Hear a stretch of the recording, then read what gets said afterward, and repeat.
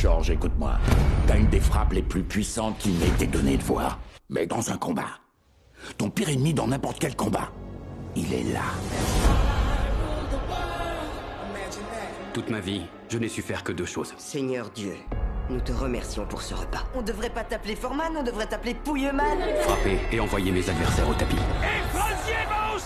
Je m'appelle, gros débile George Foreman est le nouveau champion du monde des poids lourds. Cette colère en toi, elle vient d'où? Je suis pas en colère. Et ça finit par devenir votre nature profonde. D'abord, on remercie le Seigneur. C'est moi qui ai payé tout ça, maman. Non, ce type, c'est pas un champion, c'est un guignol avec des gants de boxe. Il n'y a qu'un pas entre le lit et le cercueil. Foreman va au sol Qui a dit ça? On n'a rien dit, Georges. Hé, Georges Wow, wow, wow. Ton cœur s'est arrêté. On a cru que t'étais mort. Je l'étais. L'histoire miraculeuse J'ai pris ma retraite. Je veux plus boxer. Tu te rends compte de ce à quoi tu renonces? Je veux transmettre la parole de Dieu et dire ce que j'ai vu. du grand George Foreman. Ça avance votre projet de devenir pasteur? C'est dur. Plus dur que de se prendre un coup de poing en pleine figure?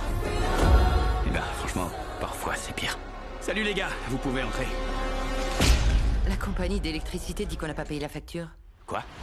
Il n'y a que deux choses que je sais faire. Boxer et prêcher. Mais prêcher n'a jamais payé les factures. C'est toi qui m'as amené au sommet, Doc, et tu peux le refaire. Et mon destin est de redevenir champion du monde des poids lourds. La dernière fois qu'ils m'ont vu, je ressemblais à Superman. Bah maintenant, t'es bonhomme Michelin, mais c'est pas un concours de beauté. Quand la vie vous offre une deuxième chance, Michael Moorer, qui a 26 ans et qui semble inarrêtable. Je pense que tu peux le battre. ne le faites pas pour vous, Il n'a plus les moyens de s'imposer face à un boxeur plus jeune que lui. mais pour ceux que vous aimez. C'est maintenant ou jamais.